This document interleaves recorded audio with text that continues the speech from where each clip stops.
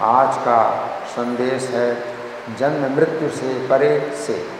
महामंत्र के निरंतर जप के द्वारा हम निरंतर कृष्ण का स्मरण कर सकते हैं। श्री हरिनाम संकीर्तन महामहोत्सव की श्रील प्रभुपाद की